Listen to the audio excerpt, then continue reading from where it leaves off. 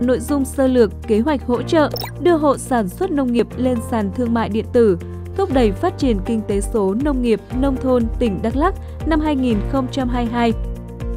Ngày 18 tháng 3 năm 2022, Ủy ban nhân dân tỉnh Đắk Lắk ra kế hoạch số 65 phê duyệt kế hoạch hỗ trợ đưa hộ sản xuất nông nghiệp lên sàn thương mại điện tử, thúc đẩy phát triển kinh tế số nông nghiệp nông thôn tỉnh Đắk Lắk với mục đích hỗ trợ đưa thông tin sản phẩm nông nghiệp của các hộ sản xuất nông nghiệp lên sàn giao dịch thương mại điện tử postmark.vn và vòsò.vn, giúp hộ sản xuất nông nghiệp tránh ùn ứ, mất giá nông sản vào mùa thu hoạch, mở rộng thị trường, đẩy mạnh tiêu thụ thông qua nền tảng số, cung cấp cho các hộ sản xuất nông nghiệp thông tin thị trường nông sản,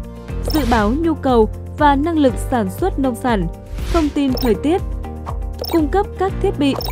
giá cả phù hợp để góp phần giảm giá thành của sản phẩm nông nghiệp. Thúc đẩy phát triển kinh tế số nông nghiệp, nông thôn trên địa bàn tỉnh Đắk Lắk. Để làm được điều đó, Ủy ban nhân dân tỉnh Đắk Lắk đặt ra từng chỉ tiêu, mục tiêu cụ thể trong năm 2022. 100% hộ sản xuất nông nghiệp có sản phẩm đạt chuẩn được đưa lên sàn thương mại điện tử,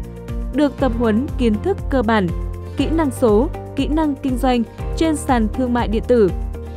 Trên 100.000 hộ sản xuất nông nghiệp được số hóa thông tin đưa lên sàn thương mại điện tử. Trên 5 loại nông sản chủ lực của tỉnh với trên 200 sản phẩm nông nghiệp được đưa lên sàn thương mại điện tử. Giá trị giao dịch thông qua sàn thương mại điện tử đạt trên 1,5 tỷ đồng. Hộ sản xuất nông nghiệp có thể liên lạc các điểm giao dịch của bưu điện tỉnh và chi nhánh Viettel nơi gần nhất để được hỗ trợ.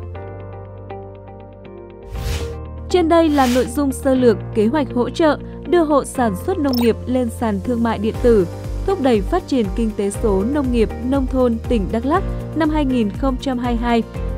Để tra cứu các nội dung khác, xin vui lòng truy cập website http tmdt mic gov vn